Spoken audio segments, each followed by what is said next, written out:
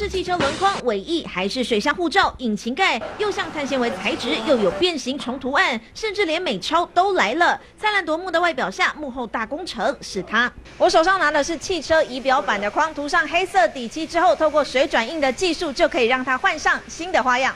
黑压压的汽车零件放进水里，拿出来已经换上碳纤图案外衣，涂装过水就完成，怎么办到的？非凡镜头独家直击。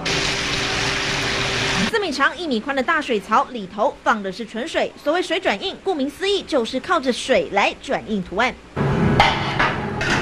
把选定的 PVA 膜图案小心翼翼铺在水面上，表面温度得控制在二十八度上下，计时一分半，让转印膜伸展平整。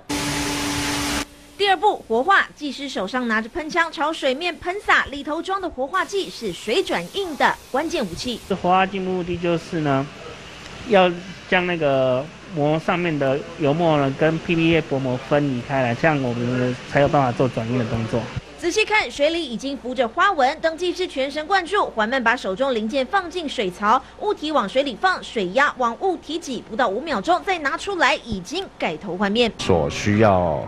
放的角度跟力道都要抓得非常准确，不然的话，这样子纹路才不会跑得太多。车友们啊，比较玩车的，因为他们想要一些时尚的、比较一些独特性的风格。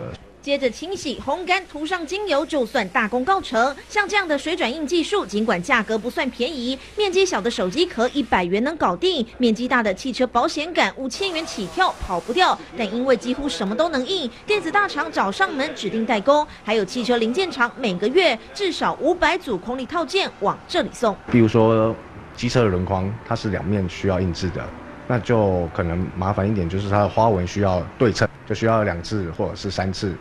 再做转，让汽车零件当出水芙蓉，说是变魔术也好，是新科技也罢，能确定的是，涂装技术也跟着汽车工艺突飞猛进，外观越来越吸睛。记者维荣欧俊杰、张玉新北市报道。